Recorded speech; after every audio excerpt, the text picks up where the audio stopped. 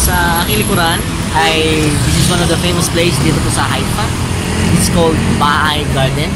So yan po yung nakikita nyo ng tuktok na paranggol that is the one of the center ng bahay na to. So kung saan sabi nila yan po na ilibing si Baay, si Bob o yung propeta nila. So this is a religious site dito po sa Haifa and isa rin po sa pinakamagandang puntahan. Uh, it's already part of Mount Carmel. So, napakaganda po ito kasi I think three times a year they are changing yung mga bulaklak dito.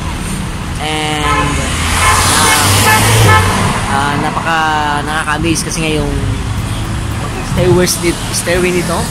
Kahit sa baba ka doon ka taas dumaan ay ma-amaze ka. Kasi nga makikita mo yung Mediterranean Sea dyan. And syempre dito nga po magdidilim na. Napakaganda ito pag uh, mawala na po yung uh, liwanag at mag tumilim na, makikita niyo po yung lighting dito. It's very uh, amazing mga kapatid dito po sa Haifa, dito sa Israel. So maganda po itong i-visit mga kapatid.